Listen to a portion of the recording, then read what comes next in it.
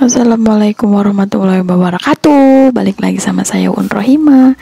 Kita mau masak-masak lagi. Kita potong wortel Cabe Sama bawang putih. Kita siapkan dulu Kubis.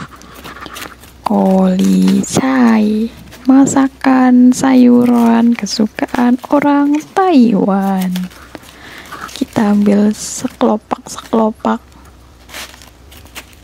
terlebih dahulu lalu kemudian kita iris-iris batangnya kita cuci.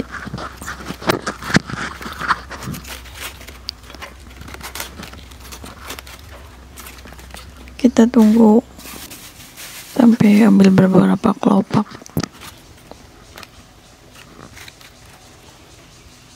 Lalu kita ambil kita ambil batangnya. Kita pisahkan batang sama sayurnya lebih dahulu lalu kemudian kita potong-potong batangnya tipis-tipis. Terserah karena biar matang kemudian sampai selesai habis. Kita potong sayurnya daunnya.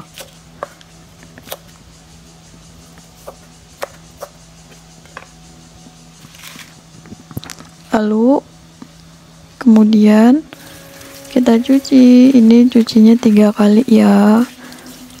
Hanya karena saya percepat jadi saya ngerekodnya cuman ya sekali aja. Kemudian kita mau bikin tumis tahu dikecapin. Ini tahu kering. Tapi nanti kita goreng dulu kita goreng bareng sama tempe. Kita mau masak tempe geprek. Ini saya masak. Kita potong bagi dua tempenya lalu kita potong tipis-tipis. Nggak terlalu tipis sih.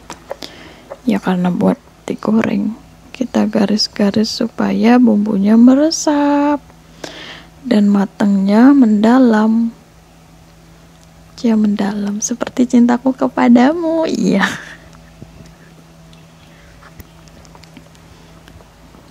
kita garis-garis dulu. Lalu kita siapkan mangkok.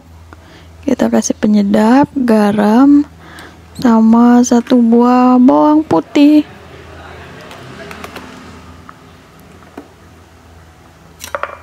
Lalu kita geprek kita ulek kita kasih air airnya kita taburkan ke atas bumbu tadi.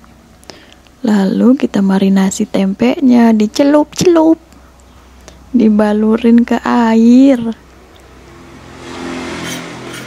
Celup.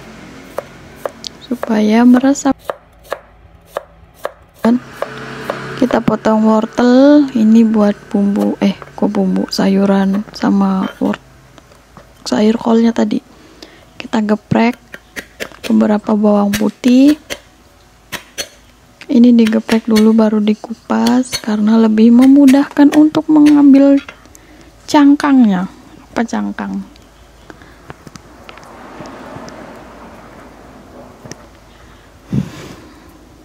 untuk mengupas kulitnya.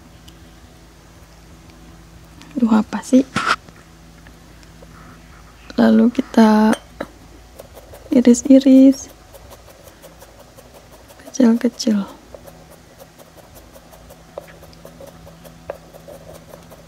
lalu kemudian kita sisihkan. Kita mau motong daun bawang buat bum buat sayur tahu.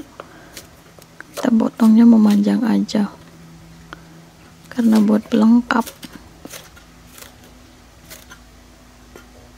Kita singkirkan kemudian kita panaskan minyak. Kita tumis bawang putih. Sedikit lalu kita orak-arik sampai harum baunya.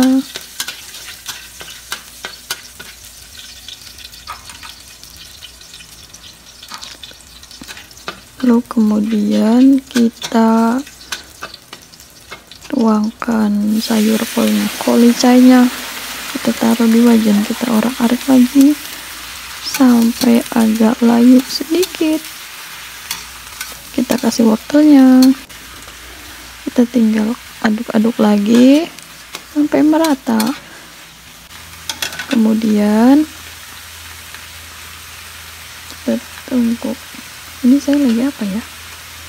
Oh lagi ambil tahu. Kita tahunya digoreng dulu di sebelahnya. Supaya mateng. Ini juga tahunya udah mateng sih tapi biar enak tambah enak kita goreng dulu. Biar percaya matangnya gitu. Padahal ini udah tahu matang sih. Ya belum kali ya. Nggak tahu nih gimana sih Taiwan? Kita aduk-aduk lagi. Kita kasih garam setengah sendok. Lalu kita kemudian kasih penyedap rasa satu sendok kecil.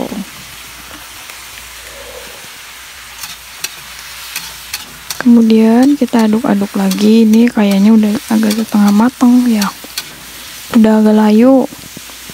Kemudian kita tuangkan sedikit air sehingga matang.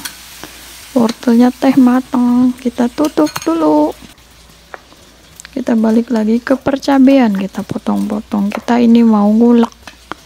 Tapi nguleknya nanti.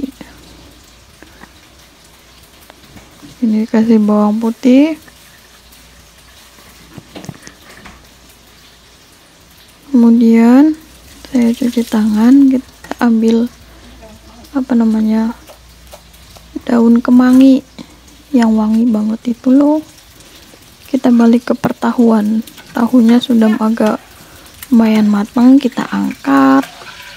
Kita tiriskan terlebih dahulu supaya minyaknya tidak bawa ikut. Kita goreng tempe. Ini kelihatan ya kameranya.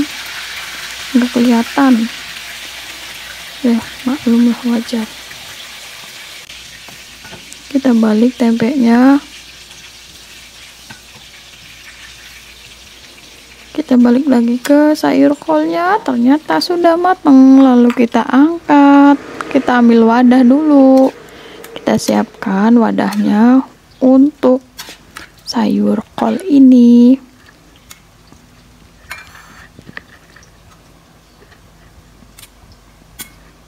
Kita tiriskan. Kita kasih kuahnya. Kita cuci wajahnya kita ambil minyak dari tempe karena terlalu banyak.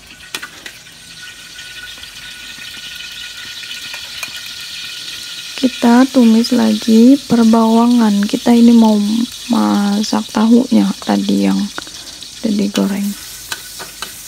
Kita tumis bawang daun. Kita orak-arik sampai layu ini udah agak setengah layu.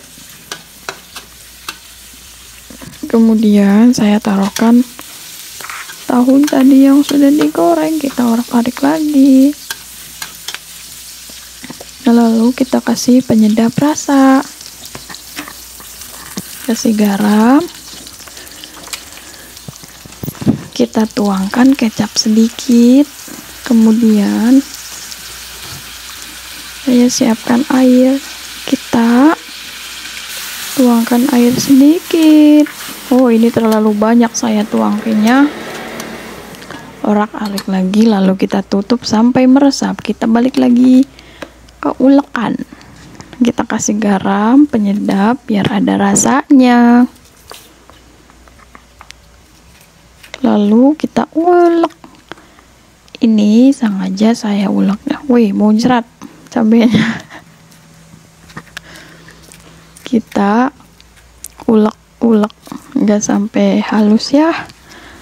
Karena kita pengen bikin tempe geprek. Simple. Kita ulek-ulek sampai agak sedikit hancur. Nggak hancur banget kita kasih daun apa tadi? Kemangi ini saya dikasih ini tempenya. Kita ulek-ulek. Jadi satu. Uh, rasanya mantap. Balik lagi ke pertahuan. Ternyata tahunya sudah matang. Kita angkat kita tiriskan dulu. Lalu kita taruh di mangkok ini sudah jadi ini sudah jadi. Ini kulicanya terima kasih yang sudah nonton. Jangan lupa subscribe like dan komen. See you next video. Bye bye